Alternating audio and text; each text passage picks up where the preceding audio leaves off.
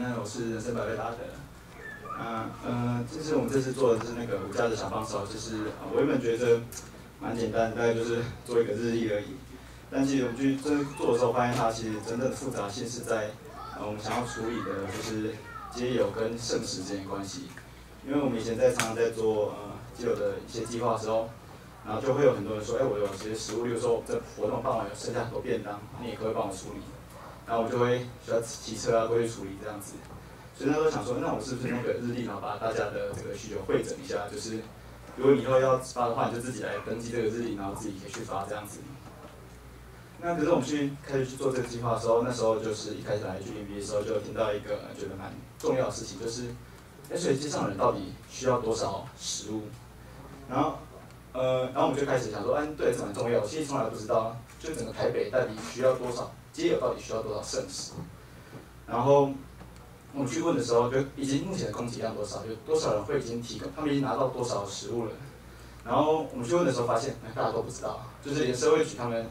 收过来的时候，我就问他们说：“哎，你们就是这去年一整年，就是我没有一个月，你们去年一整年你们收多少食物？”他说：“嗯，这个我没有统计过，就是他们在收这些食物的时候，基本基本上是完全不会去记录他们到底收了多少食物。”然后我们去街上问那个街友大哥，问他说：“哎，你那个你多久会拿到一次食物？”他说：“不知道哎。”那谁来发？不知道哎。哎，你们每次每次都拿到吗？不一定哎，就是。很多这样资料就是很就是散落在这世界各地，其实大家都不是很清楚。然后最后我们就问了呃 NGO，我们去拜访 NGO，拜访了很多职场大哥，然后拜访了社会局，然后汇整出现在一个大概的样子，就是啊，对于这表一点亮，我再解释一下，就是呃，整个台北大概主要五家者聚集在北车跟万华，然后然后现他们前面讲是需求，就是说呃，它总共其实以需求量来说，我这里八十，这个对看到。呃，这里有个八十，是那个他就是人数，就是说他需要几个便当，然后他们通常午餐的时候就是 NG，有在公共区域的，也有在就是你在台北山看到的，然后就是可以看到他坐在那个地方的，也有就是他会去 NGO 领餐的，就是去教会啊地方领餐的，所以一般来说台北山中午是没有接友的，他们到都去工作了，所以只有教会会供餐，然后供给是一些比较没有办法工作的人，然后北车这边的话就是它是以就是晚上时候比较多人，晚上时候才会人会回来那个地方，大概八十个人。然后万华这边的话，就是呃，一般的 NGO 工厂大概八十份左右，就两三个便利组织。然后还有中午就是社会局会提供一百二十个便当，基本上都会被领完。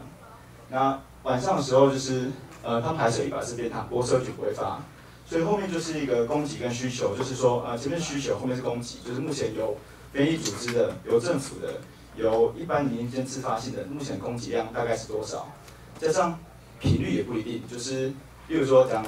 政府好社会局发，他们基本上就发中午，因为下晚上已经下班了，所以他们只会发中午，而且只会发一到五。可 NGO 通常一礼拜发六天，而且通常午餐晚餐都有，但是还是会有一天休息。那自发性的就非常不一定，就是它频率是非常不一定的。那那时候我们看到一件事情，就是说，其实以量来说，就是。呃，每一次大家发量其实都够，但最主要问题其实不在于那个量的本身，而在于频率，就是频率其实不平均。所以，基基本上其实如果用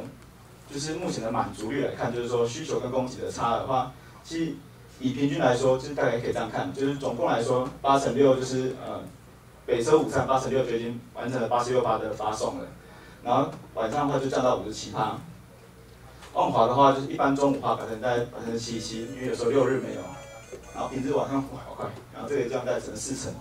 所以你们看到第二件事情是，嗯，频率不足造成发来发的东西是，没有变啊，就是频率不足造成就是呃发的东西其实不够，然后缺口很大。然后第二个其实是呃来的食物很多种类型，一种有熟食、生鲜跟干粮，而且它储藏、储存使用的方式都不一样，它的等级都不一样。然后加上没有及时分配人力，让大家没有办法去发送这些东西。所以看到一个更大的系统样子是，呃，这是目前就是我们把跟社会局就默画出了一个轮廓，就是说，呃，目前的食物分配，它会根据这样的逻辑去走，就是有三种来源，就是大家可以现金直接给捐给他们去买东西，一种是我买好了再捐过去，很多组织不喜欢直接捐现金，以及就是他们或办活动自己的业务剩余去捐。那我们画出红线的话，就是在整个环节里面目前比较薄弱的部分。所以我们做的工在五家小帮手，就是呃我们在前面花比较多时间去定义我们的工作是做什么。那所以说就是去汇集资讯，然后让大家可以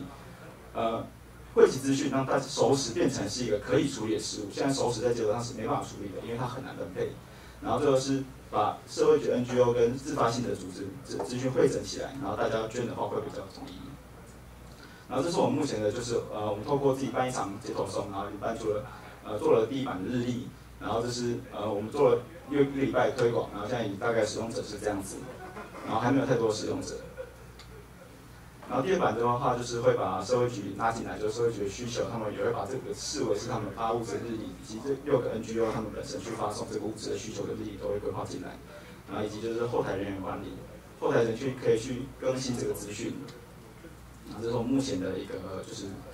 参与。那如果说呃我们之后还办电视接头送，然后针针对刚刚那些东西再做一次修正，那如果有兴趣的朋友的话，也可以欢迎来参加。我们会在脸书上发布讯息，谢谢大家。